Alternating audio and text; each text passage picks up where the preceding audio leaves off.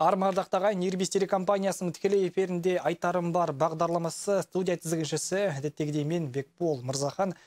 Бүгінгі хабарымызда біз ұлттық спорт төңірегінде сөз қозғаймыз. Осы төңіректегі сауалдарымызға жауап беретін мейманымыз студиямызға келіп жайғасып отыр. Мейманымызға қойыр сұрақтарыңыз бар болса, 55-76-40 нөміріне хабарласа аласыздар. Ондай ақ бізде WhatsApp желісінің жұмыс жасап тұрған естеріңізге сала кетеміз. Дархан Мырза, бүгінгі студиямызға қош келдіңіз. Ассалаумағалейкум ең бірінші сұрақ жалпы енді бізде павлодар облысы ат спорты яғни түрлері бойынша федерация енді құрылды. Жалпы осы федерация төңірегінде кішкене айтып өтсеңіз қалай құрылды? Ә, басшылық жайлы кішкене. Иә осы уақытқа дейін ат спорт түрлері бойынша федерация осы күнге дейін бір керекті деңгейге дейін өспегенін байқап ел ағаларының қолдауымен ат спорт түрлерінің әр түрлерінен оның ішіне бәйге аударыспақ көкпар жамбы теңге ілу және де саятшылықты да қостық. Сондай федерация құрып қазіргі таңда сол федерацияны асайын қуандықұлы тізгінді қолға алып және де вице президент дейміз жасыбай ағамыз қолдап бәріміз бір ауызы біршілікке келіп қазіргі таңда павлодар облысында сондай бір дөкей федерация ашып үлкен үлкен мақсаттар жоспарлар қойып отырмыз қазіргі таңда. Дархан мырза айтып өтсеңіз жалпы енді біздегі осы міне жуырда тіпті кеше десек те болады ұлы дала фестивалі өтті. Фестиваль төңірегінде мындай жарыстар болды. Иә міне осы күндері ғана аяқталды ұлы дала. Енді ұлы дала дегенде аузымызға бірінші не түседі? Есімізге не келеді? Ол жаңағы ата бабаларымыздың асқақ күш жігері абайдың дана сөздері ұлы дала рухы деген. Енді осы фестиваль тікелей бізде өтіп жатқанымызға ол бізге ұлттық спорт түрлерін ұрпақтарымызға кеңінен танытып насихаттауға бір үлкен мүмкіндік берді біздің өнімімізді өткізу үшін енді нәтиже туралы айтатын болсақ біздер үшін жаман емес нәтиже көрсетті. Ол ат спорт түрінен атап айтсақ аударыспақ түрінен палуандарымыз бірінші орынға иеленді. Және де теңге біздің шабандоздарымыз бірінші орын алды. Ары қаратай спорт түрлері ол қазақ күресі екінші орынға табан тіресе жамбы үшінші орынға табан тіреді. Сондай нәтиже бар бүгінгі таңда. Дархан аға жалпы біздегі спортшыларымыз енді лайықты деңгейде өнер көрсетті оны білеміз. Енді өзге өңірдің спортшыларының деңгейі қалай жалпы қай өңір кішкене ерекшеленді дегіз? Мына жерде алматы өңірінің спортшыларын атап өтуге болады. Өйткені бұларда ат спорт түрі өте бір мықты жақсы деңгейде бұл жақта дамыған. дамыған иә.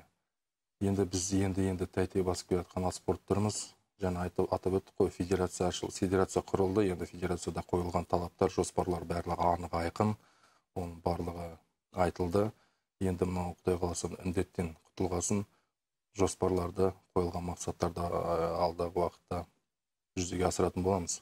Енді алматы облысының құрамасы бұлар енді бұл жақта э, климатқа байланысты біздер э, мына жақ өңір болған соң бізде қыстар суық болады. Сол кішкене кемшілік болып тұр. Келешекте арнайы сондай ат спорт түрімен айналысу үшін үлкен э, ғимарат салып берсе деген тілегіміз бар ойымыз бар. Алматы құрамасының мүмкіндігі жаңағы оларда қысы жазы жылы ол дегеніміз олар ат үстінде жаңағы әр мезгіл әр жылдың төрт мезгілінде. төрт мезгілінде ат үстінде олар жаттығады. Біздер болсақ тек қана жазғы тұрым ғана қыста біз жаңағы ғимараттың ішінде палуандармен жаңағы күресшілермен араластырып оларды жаттығады. Сәйкесінше бұл да дайындыққа кішкене әсерін тигізеді ғой. Әрине әрине. Түсінікті. Жалпы біздегі ат спорты енді өзі тәй тәй басып келе жатқанын айтып өттіңіз иә? Әсіресе жалпы қай түр бойынша біздің жастарымыз кішкене жалынды? Енді осы жылы мен байқағаным ә, жігіттердің көздерінен от лапылдады дейміз ғой.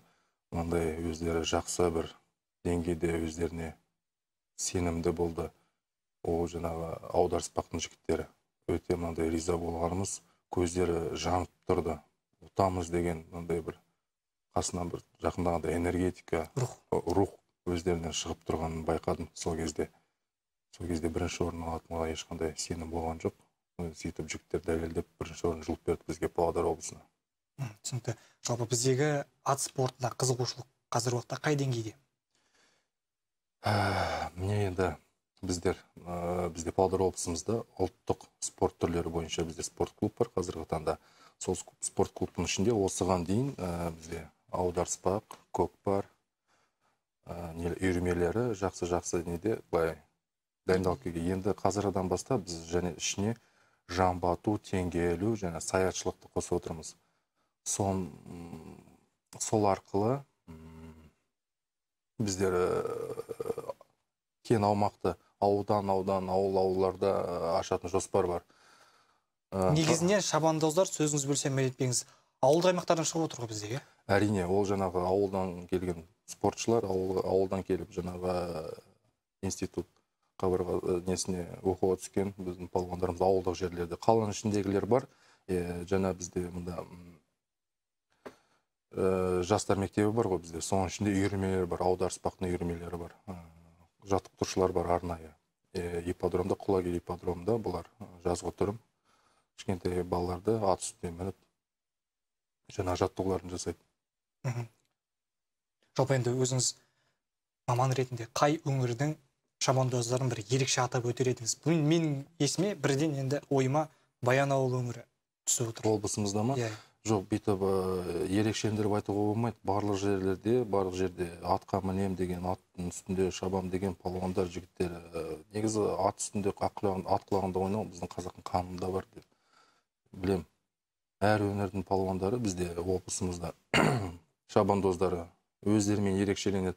Иә баянауыл өңірінің палуандары да өз бір ерекшеліктері бар. Ә, май ауданы ақтоғай ауданы қай бір аудандарды алмасаң да өз ерекшеліктері бар. Э, қазіргі таңда кішкене бұларға қолдау жетіспей жатыр. Біраз қолдап жіберсек жаңағы жаттығу жасап жатқан жерлерінде тағы да бір э, қосымша бұларға сағат ашып еңбек төлейтін болсақ одан сайын деңгей өседі деп ойлаймын. Соны құдай қаласа ә, жаңа айтып өттік қой федерация деп. Сол федерацияда қойылып жатқан мақсаттар көп. Және де мына облыстық спорт басқармасына бізде өте қолдау қазіргі таңда бізден жаңадан басшы келді. Дауыр қуатұлы деген. Ол кісі де өзінің мынандай ат спорт түріне қызығушылығын танытып жаңағыдай қандай жоспар бар қандай барлығын рет ретімен түсініп өзі танып алды. Құдай қаласа келешекте бірігіп жұмыс істейміз деген бізде алға қойылған мақсат бар. Жоспар. Қаланың балаларын да тарту ойда бар ғой әлбетте. Әрине әлбетте қаланың балалары. Бірінші жаңағы біз мынау мектеп жаңа қазақ күресінен айтып өтейінші қысқаша иә? Мынау қазіргі таңда қазақ күресінен астана қаласында пилоттық вариативтік ретінде он жеті мектептерде пилотный программа ашылды. Қазақ күресі үйірмесі. Ол дегеніміз міндетті пән ретінде кіреді әр мектепке. Сол сияқты бағдар сол қазақ күресінің бағдарламасы ары қаратай өзінің жалғасын тауып ә, кеңінен өсіп бара жатса мен ойлаймын ат спорт түрінде жаңағы ұлттық спорт түрлерін бірыңғай сабақ пән ретінде міндетті пән ретінде алда кіргізсе өте мынандай бір тамаша болар еді. Ұлттық спорт деп отырмыз бұның қатарында әлбетте күрес бар. Жалпы біздегі күрес деңгейі бойынша не айтар едіңіз? Күрес деңгейі құдайға шүкір күрес деңгейі жаман деуге болмайды. Енді биылғы жылы індеттен біз жаңа ғана енді енді шығып бастаған кездерде біздің жастар құрамасы өте жақсы нәтиже көрсетті қазақстан біріншілігінде. Бұл төрт бала қазақстан құрамасына жолдама алды қазақстан құрамасына енді және де қыздар балаларымыз бар қыз балаларымыз бар қазақстан құрамасына ілінген. Осы індет аяқталғаннан бері ел чемпионатынан біз 16 медальге ие болдық. Ол деген біз үшін қазіргі таңда өте жақсы көрсеткіш деп айтуға болады. Сәйкесінше алдағы уақытта бұдан да жақсы нәтижеге қол жеткізу жоспарланып әрине әрине. Жалпы біздегі жастардың дайындығы бұл ретте қалай өтіп жатыр? Сәйкесінше барлық талаптарға сай кішкене алаңдармен жабдықталған ба жоқ әлде? Қалай? Иә қазақ күресті қазақ күресі бойынша бізде орталық бар ә, баянтау спорт кешенінде біздің облыс құрамасы жаттығады. Бұнда барлық жағдайлар жасалған. Қазіргі таңда спортшыларымыз керек жарақты дәрумендерін алуда. Ә, психологтармен жұмыс істеуде. Және де ана физдиспансер дейміз ғой сол жерден өздерінің арнайы медициналық бақылау несін алуда барлық. Психологтармен жаңа айтып өттім жұмыс істейді жаңағы фитнес тренерлермен Ә, сондай сондай жұмыстар жасалып жатыр енді. Ә, дополнительное питание дейді ғой витаминизация деп. Қазіргі заманауи заманға сай біздер оларды қолымыздан келгенше көмек көрсетудеміз дархан аға жалпы бізде осы жуырда жаз мезгілінде ә, ауқымды бір біріншілік өтпекші болған еді. Бірақ әлбетте бұл осы індетке байланысты басқа қалаға ауысып кетті. Осы бойынша кішкене айтып өтсеңіз. Қандай спорт түрінен? Ат спорт бойынша. А спорт түрінен иә а спорт түрінен ел біріншілігі бізде өтпекші болды жастар арасында.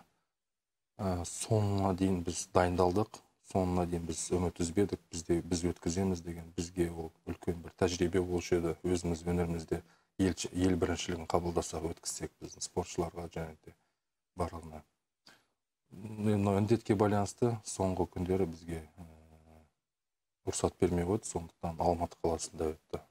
Қызылорда қызылорда қызылордада иә. Сол қызылордаға ә, біз аударыспақтан арнайы жасақтап команда и бір баламыз және де жаңағы үшінші орынға ие болды қызылорда қаласында тағы да бір нәтиже болды. Жалпы біздегі осы өзге өңірге барып өнер көрсеткен кезде жалпы енді қалай айтсақ болады деңгейіміз қалай болды жалпы? Дайындық жетіспеді ме жоқ әлде жоқ дайындық жетіспеген. Біздің балаларымыз басқа жақтың балаларынан ешқандай кемшіліктері жоқ ешқандай айырмашылықтары жоқ. Барлығы тек ат құлағында ойнап жүрген аттың үстінде жүрген жігіттер. Біреудің бабы бағы жараспайды. Сондай ғана моменттер болады. Былай айтқанда. Барлығы дұрыс. Біз де бұлармен бірге қатарлас шаба аламыз бұлармен қатарлас күресе алеміз даже басында бола аламыз. Кішкене ғана мынандай көмек керек бұларға психологиялық тұрғыда материалдық жағдай болсын балаларға демеп мен сол осы федерация ашылып жатқанда бірден бір соған себеп құдай қаласа осындай федерациялардан үлкен үміт күтеміз. Қолдау ретінде. Керемет жалпы дархан аға енді бізде бағдарламамыз аяқталып жатыр. Енді соңғы сұрақ. Енді қазіргі уақытта біздегі алдағы уа- уақыттағы жоспарлар бойынша кішкене кішкене құлақ қандар етіп жіберсеңіз иә біз қазір өте ауқымды дайындалып жатырмыз. Бізде міне келесі айдың ы, онынан он жеті онынан он жетісіне дейін ақбидай деген ауыл ойындары болады. Ақтау қаласында соған біз ә, командамызды түгелдеп жасақтап құдай қаласа сол жаққа аттанайын деп жатырмыз оған дейін мынау ұлы дала фестивалінің финалы астанада жаңа бірінші орын алған спорт түрлері ол бізде аударыспақ және де теңге және де асық ату. Құдай қаласа бес, бес аралығы астана қаласында басталады енді. Сол жаққа балаларға рух беріп демеп бісміллә деп сол жаққа аттанады деп жатқан жайымыз бар. Дархан аға енді алдағы жарыстарға сіздерге сәттілік тілейміз. Ә, Рахмет. біздің студиямызға келіп қойылған сұрақтарға жауап берейін алысыңызды білдіреміз. Әлбетте алдағы уақытта ә, жағымды жаңалықтарыңызбен біздің студиямызға келіп барлығын әңгімелеп бересіз деген үміттеміз әрине шексіз. Міндетті түрде. Қымбатты телекөрермендер біз сіздермен қоштаспаймыз. Тек қана аптаның дүйсенбісі мен бейсенбісі аралығында сіздермен бірге болатынымызды айтқымыз келеді. Арнамыз қосулы болсын бізде дәл қазір жаңалықтар. Аман сау болыңыздар